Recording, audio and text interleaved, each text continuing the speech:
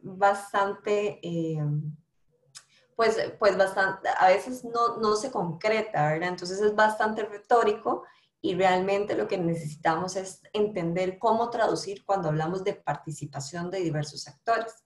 Entonces, cuando hablamos de participación, ¿qué estamos haciendo? Estamos creando mecanismos espacios para que eh, los actores que participan cuenten con grados de incidencia en la toma de decisiones. O sea, sí es importante tener claro que no todos los actores van a participar en el mismo nivel.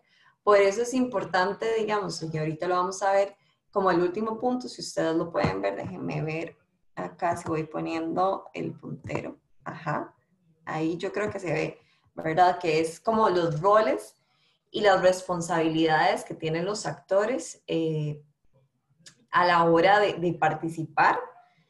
También cuando hablamos de participar eh, o cuando creamos estos mecanismos, queremos decir que hay espacios que legitiman esa toma de decisión para poder entrar a un consenso colectivo y contar con intereses en común. Eh, también, bueno, como hemos mencionado, hablar de gobernanza y cuando hablamos de participación, lo que necesitamos es crear empoderamiento y sentido de pertenencia para que una vez que creamos soluciones y que se cree propuestas, ¿verdad?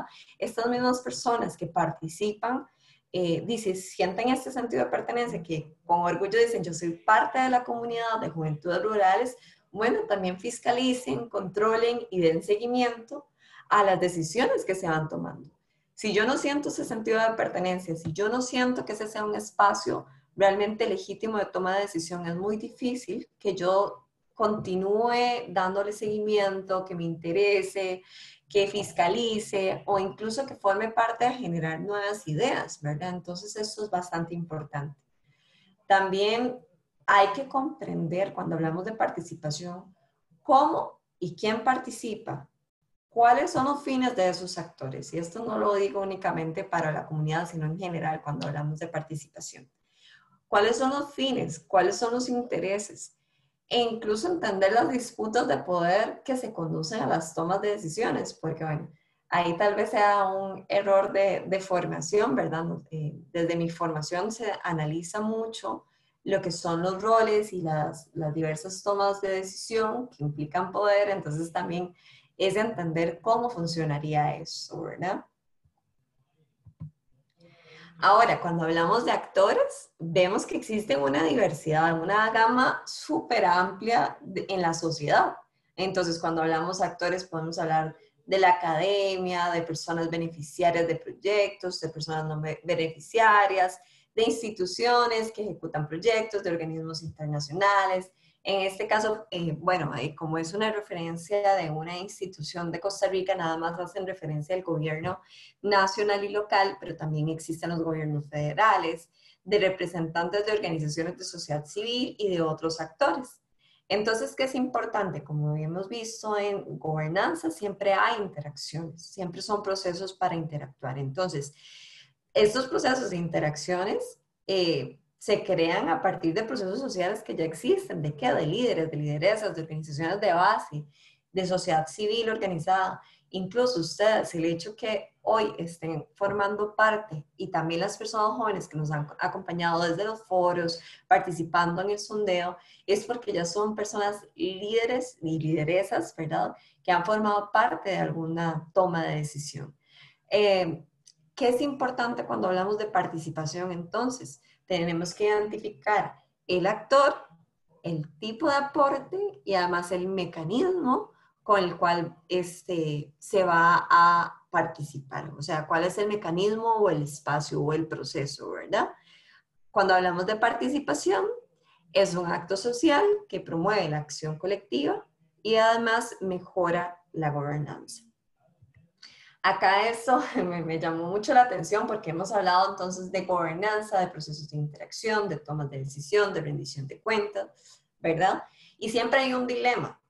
Bueno, que hay, hay personas y hay comunidades que tienen algunas deficiencias y necesidades, pero esas personas, esos individuos y esas comunidades tienen talento y tienen habilidades para poder crear y buscar propuestas y soluciones.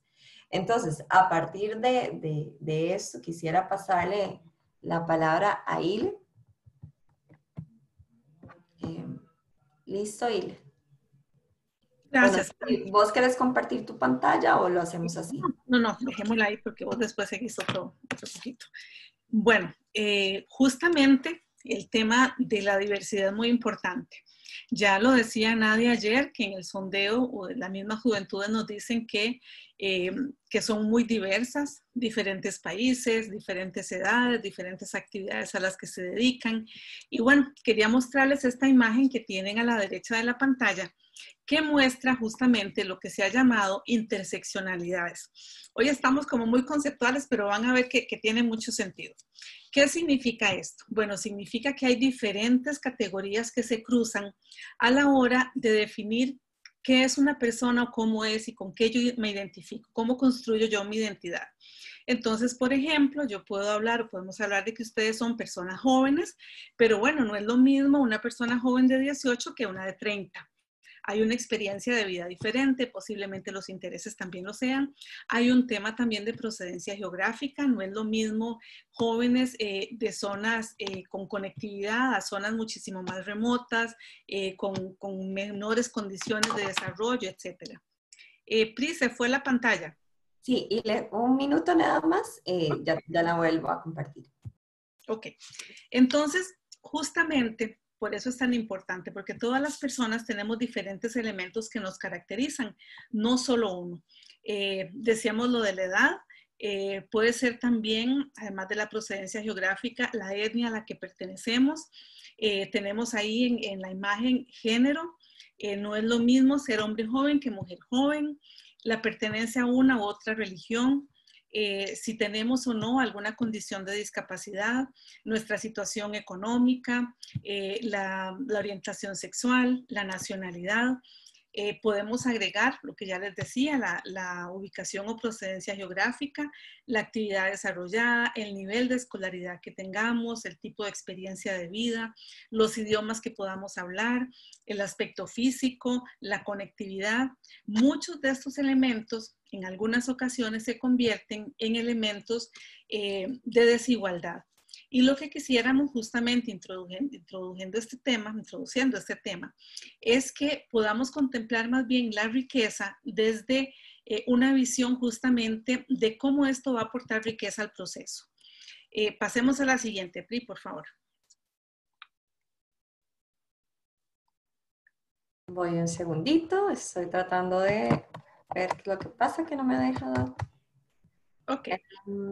Eh, ¿por, qué, ¿por, qué, es tan importante esto? Porque tenemos que pensar en una comunidad hemisférica que va a atender intereses y necesidades de una juventud impresionantemente diversa. Eh, de 34 países, eh, con diferentes edades, diferentes etnias, muchos con diferentes idiomas, eh, diferentes intereses, experiencias de vida, diferente género. Entonces, es importantísimo que contra esa tendencia que hay a homogenizar y generalizar, eh, y lo hemos visto, siempre se dice la juventud. En este proceso con ustedes hemos hecho un esfuerzo por decir no solo que son la generación del, del presente y ya parecemos como con, con, una muletilla, pero realmente mm, es importante eh, mantenerlo siempre presente, sino que además hemos hecho un esfuerzo para hablar de juventudes. No hay una sola juventud, no hay un solo tipo de persona joven, hay múltiples tipos de personas jóvenes y si preguntamos a cada una de las personas que están conectadas ahorita, posiblemente se definirían a partir de un montón de rasgos distintos. Entonces, es importantísimo que no perdamos esa riqueza que nos da la diversidad y que esas interseccionalidades no se conviertan en elemento de discriminación, sino más bien de potenciación.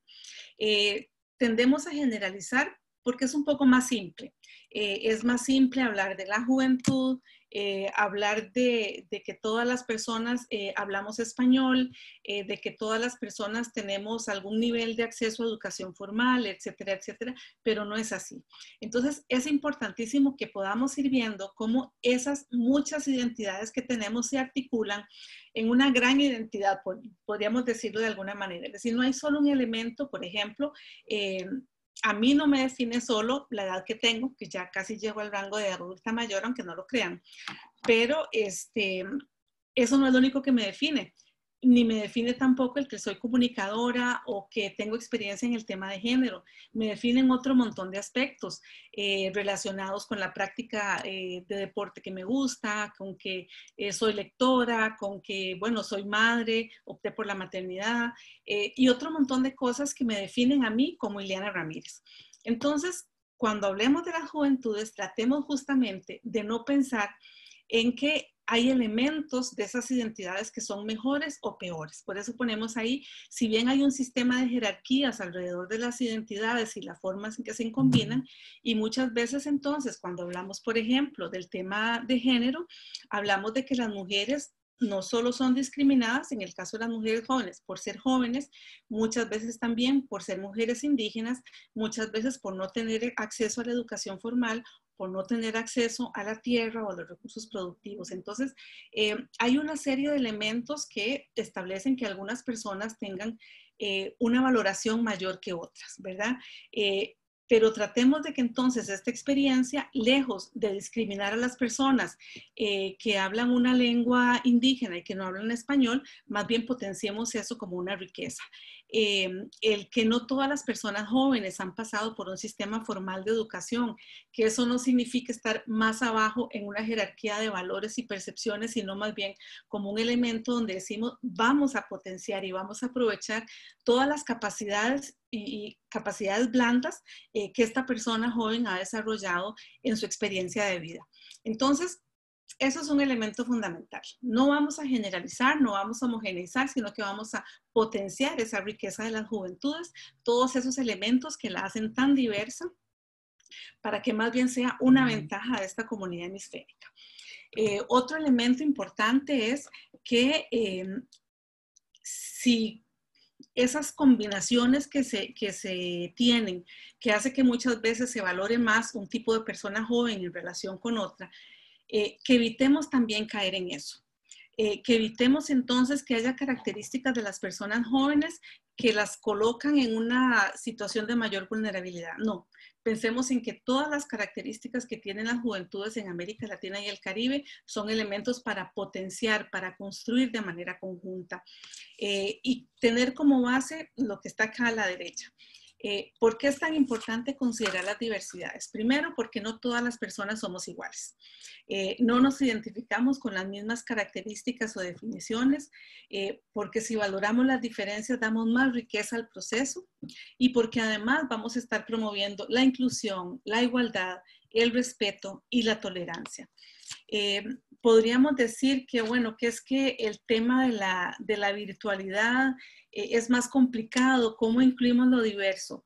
Eh, sabemos que la creatividad que tienen ustedes y muchos de los insumos que han recibido desde, las, desde la charla que nos dio Luis el, el, martes, las charlas de ayer y las de hoy, eh, ya imagino que en sus cabezas están pensando, bueno, ¿cómo hacemos para integrar toda esa diversidad de las juventudes para hacer este proceso mucho más rico? Eh, la virtualización no debe ser eh, una condición que nos diga, vamos a tratar de homogenizar porque la virtualidad nos limita. La virtualidad no nos va a limitar en ese sentido y estoy segura que ustedes tampoco. Más bien si pensamos en, en, lo, en la anterior normalidad, en que la manera de conjugar gente joven era en algún evento, lo cual más bien limitaba la participación de muchos o porque no podían movilizarse, eh, la ausencia de recursos, el no poder convocar a todo el mundo. Bueno, pues ahora resulta que la virtualidad más bien nos da esa posibilidad eh, de convocar a gente joven en un mismo espacio de manera permanente, eh, en mayor número y también con un mayor nivel de calidad porque ustedes en este caso son quienes están conduciendo el proceso.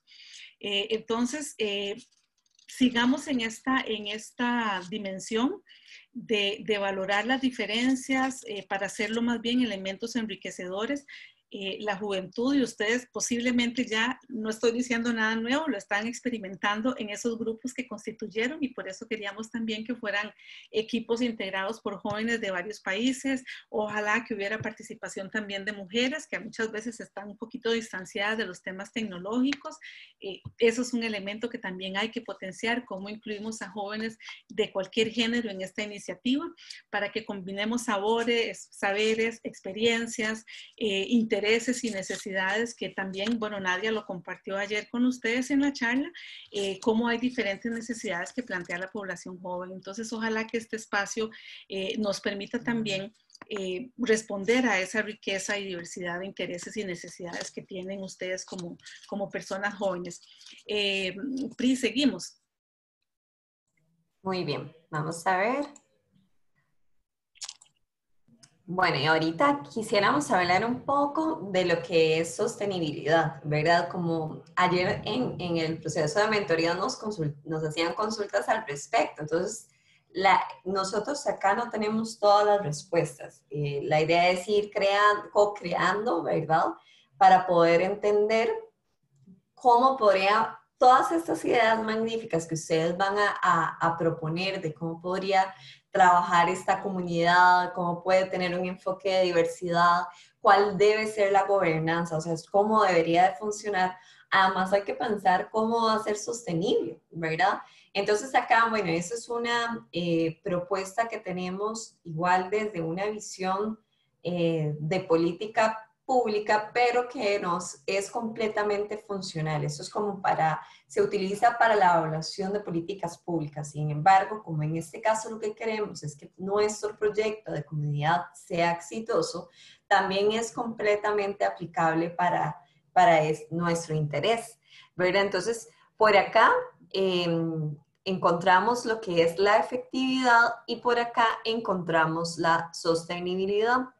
Cuando hablamos de efectividad, estamos hablando de aquellos efectos buscados o logrados que implican generar un valor y cuando hablamos de sostenibilidad, son las condiciones de sostenibilidad de esos efectos, ¿verdad? De esto que queremos lograr. Cuando hablamos de efectos son los cambios que queremos alcanzar, ya sea en el corto, en, cuando hablamos de corto es de uno a dos años, en el mediano plazo que hablamos de uno a cinco años y en el largo plazo que hablamos de 1 a 10 años. Eso es importante eh, también diferenciarlo. Entonces, vemos este cuadro de interacción, ¿verdad? Acá del lado eh, izquierdo vemos alto y bajo y de eh, la parte hacia la derecha vemos baja y alto, ¿verdad? Podríamos decir X de, el eje de X y el eje de Y, pero bueno. En este caso, el primer cuadrante, cuando hacemos el intercambio entre alto y bajo, vemos que la efectividad no es sostenible si hay altos impactos y efectos inmediatos, pero son poco sostenibles, ¿verdad? Entonces, tenemos que, cuando hagamos el planteamiento de esta idea de comunidad hemisférica, de cómo va a funcionar, eh, tratemos de que eh, no esté de este lado, ¿verdad? Y uno a veces lo que hace es crear y construir alternativas. Bueno, si estas ideas están por acá, entonces, ¿será esto realmente sostenible o realmente no? Ahora, cuando vemos que eh, estamos en el cuadrante rojo, es porque hay un completo, o sea, es poco efectivo y además la propuesta es poco sostenible. ¿Qué quiere decir esto? Bueno, que hay un fracaso en la asignación de recursos. Y eso generalmente a veces lo vemos mucho, igual, eh, para mí es como más sencillo muchos, en muchos casos hacer la asociación con los, los estados, ¿verdad? Que a veces los estados eh, o los gobiernos que están en ese momento de turno crean políticas o programas que son sumamente interesantes o incluso en la parte de la legislatura, que se crean leyes, ¿verdad?, del poder legislativo que son realmente necesarias, pero ahí no le asignamos recursos. Entonces, por más buena que sea la idea, esa propuesta, ya sea de ley o esa propuesta de política pública o esa propuesta de proyecto, en este caso nuestro proyecto, que es la comunidad de juventud rurales, tiene que ir de la mano también con algún nivel de asignación de recursos que sea factible, porque si no, efectivamente la propuesta va a fracasar. Ahora, este, cuando tenemos una propuesta en, verde, ¿verdad? Que decimos eh, que es de alta efectividad y de alta sostenibilidad, entonces podemos decir que esta es el cuadrante en el cual quisiéramos optar porque nuestra propuesta esté. ¿Por qué? Porque es una idea súper buena, pero además eh, va a ser sostenible, o sea, no, y no únicamente mencionar la sostenibilidad que sea visualizada en términos monetarios, ¿verdad? Porque la sostenibilidad va más allá de eso, se necesita recursos, se necesita personas comprometidas, se necesita eh, capacidades, ¿verdad? Aptitudes, generar empoderamiento, o sea, un montón de características para que podamos tener estas condiciones para que esta, esta comunidad de juventudes eh, pueda seguir.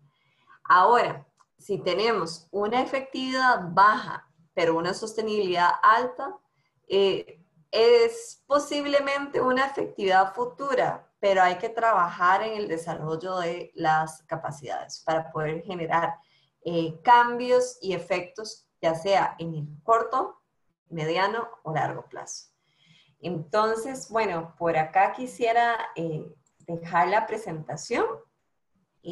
ahorita nos gustaría ver si hay algunas consultas, eh, Manu, a través del Menti o igual si por el chat se animan. Eh, no Nada hasta ahora. Nada, ah, bueno. No aseguramos que cualquier cosita tengan todo, tengamos todas las respuestas, pero sí lo que quisiéramos hoy es que se llevan estos elementos.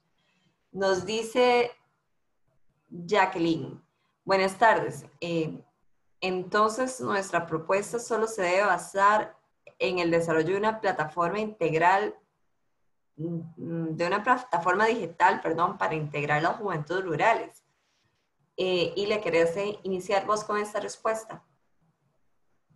Bueno, yo diría que en realidad no es solo una propuesta digital, porque em, la cuestión tecnológica lo que hace es, eh, bueno, como lo decía eh, hoy Gabriela en la, en la charla de ahí, que la idea que tenemos va a pasar luego un momento en que se convierte en, algo real, en algo concreto.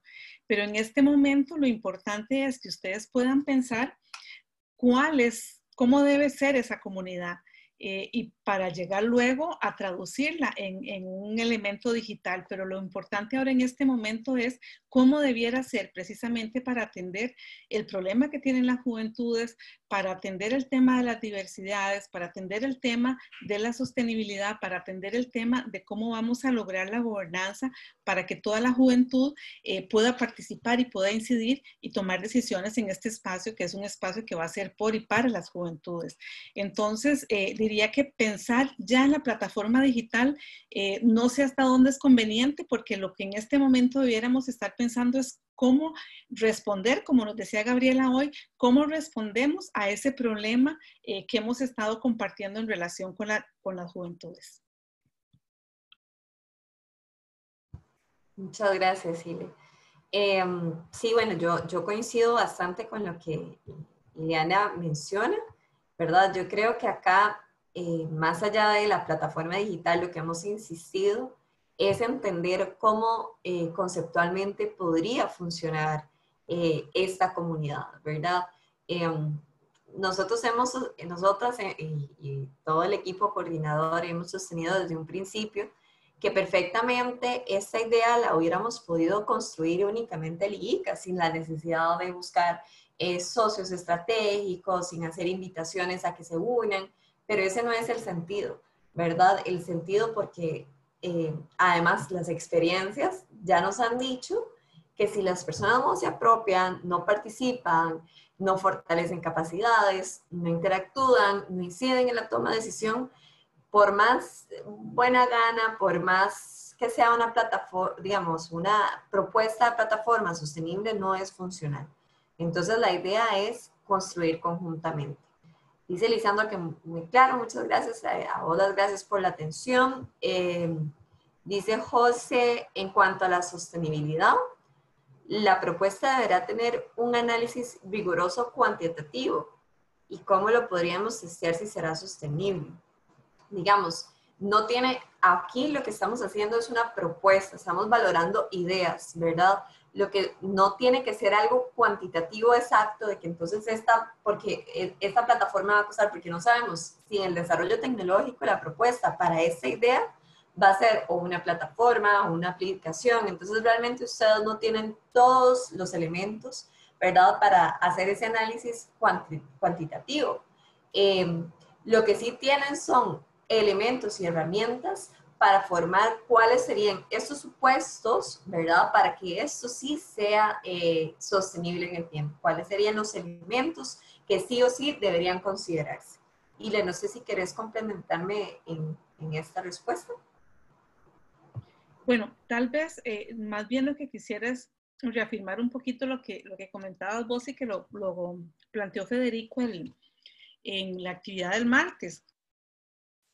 Y es que hubiera sido muy fácil y muchas veces por eso las cosas se hacen, se hacen de esa manera, sin consultar, eh, porque es más fácil pensar en la idea de tres personas en una mesa eh, y pensar por las demás. Federico decía, hemos pensado o creíamos que como personas adultas sabíamos y podíamos determinar lo que la juventud le pasa, lo que la juventud necesita, y nos dimos cuenta que no era así.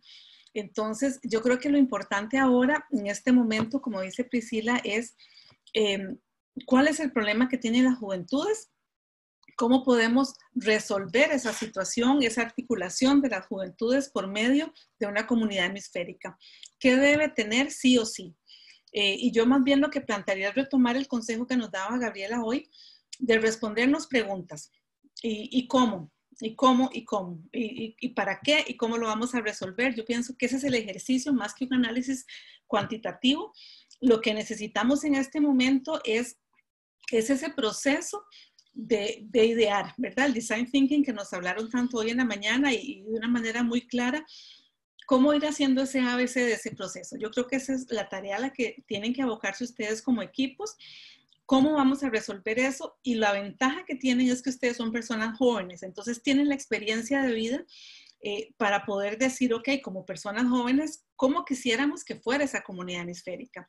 No lo que dice el ICA, no lo que dice una red, no lo que dicen las políticas públicas en juventudes, sino desde la vivencia de las juventudes, ¿cómo estamos pensando eso? Entonces, más bien lo que les invito es hacer ese proceso del que nos hablaba Gabriela hoy, que lo ilustró muy bien, de irnos preguntando ¿Y cómo? ¿Y esto cómo? Y cuando tengamos esto, ¿cómo? Y, si solucionamos esto, entonces, ¿qué logramos y cómo vamos avanzando en ese proceso? Creo que por ahí va más el ejercicio que tienen que hacer ahora. Tenemos también a, la colega Nadia, que nos va a, a, brindar un aporte. Entonces, adelante, Nadia.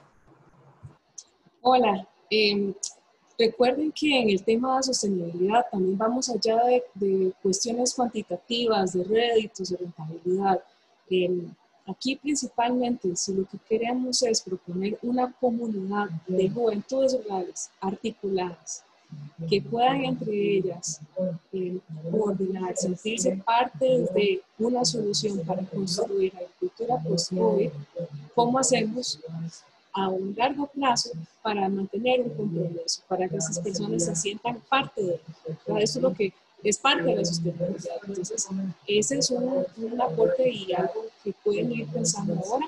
Mañana eh, la charla que vamos a tener va a estar muy interesante, les va a poder eh, eh, apoyar a, pensar un poco más en, es que está lloviendo mucho y tengo aquí a alguien, pero que les, les va a poder ayudar a pensar en este sentido que sea a largo plazo y que se mantenga en el tiempo.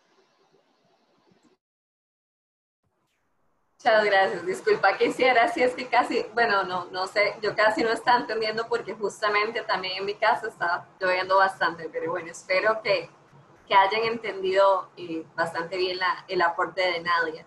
Eh, Manu, ¿seguimos con consultas en Menti o no tenemos ya más consultas? Cero. No, no, no hay nada en mente. Ok.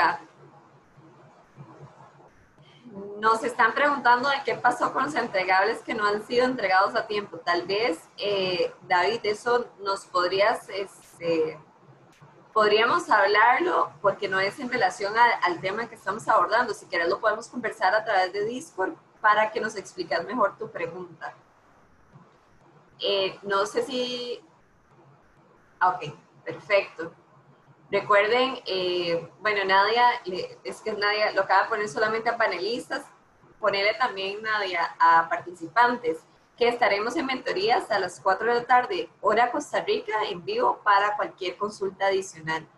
Em, no sé si, si quisieran, eh, igualmente ustedes ya tienen nuestros contactos, si tienen alguna duda particularmente a lo que es el tema de eh, gobernanza, de eh, sostenibilidad, también de participación, diversidades, entonces con todo gusto, Liliana y yo vamos a estar al pendiente. Eh, igual que en días anteriores, nos conectamos a las 4 y mañana volvemos a sesiones a las 10 y media de la mañana. Mañana ya es el último día. Hoy eh, hay descanso, hoy, hoy no hay un poquito de descanso en relación a que no tienen que entregar hoy puntualmente el producto, pero sí ir pensando ya en el producto final y con los elementos que hoy recibimos. Bueno, ayer estuvimos abordando de Design Thinking, empezamos, hoy lo reforzamos nuevamente con Gabriela vimos cómo son los procesos de innovación en Bayer y cómo podríamos aportarlo también en, justamente en este, en este proceso que nosotros estamos ahorita desarrollando, cómo pueden ser elementos que nos den luz para la gobernanza, elementos para considerar que esta propuesta de comunidad sea diversa, sea sostenible, que incentive la participación. Mañana vamos a ver un caso práctico, ¿verdad? Con 4H, que como les eh, comentábamos, 4H realmente pues tiene una amplia experiencia en formulación de redes y estaríamos cerrando con cómo idear prototipos, cómo podría verse esta comunidad ya en funcionamiento. Entonces, eh, si no hay más dudas o consultas, creo que eh, estaríamos finalizando por acá. Eh, me parece que no hay más dudas. Entonces, Sile, no sé si vos querés dar algún mensaje final o alguien de parte del equipo. Bueno, agradecerles que nos hayamos podido encontrar hoy en este, en este ratito y vayan pensando las dudas en relación con los temas que, compartimos Priscila y yo para que ahora las cuatro podamos, podamos conversar sobre, sobre ellas si es que las tienen. Em, no, no desvaloricen la experiencia, el conocimiento, eh, las ideas que tienen, la idea de hablar hoy de diversidades también tiene ese propósito de que ustedes puedan valorar la experiencia, conocimientos, historias de vida, eh, todos los elementos que caracterizan a cada una de ustedes como personas jóvenes, eh, emprendedoras, innovadoras y creativas. Así que, que bueno, adelante, nos encontramos en un ratito. Gracias. ¿Vos querés decir algo? Nada. Eh, no. bueno, muchas gracias a todos y todas y nos vemos a las 4 de la tarde hora Costa Rica.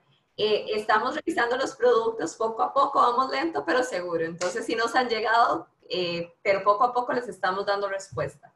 Muchas gracias y nos vemos en un rato. Buenas tardes.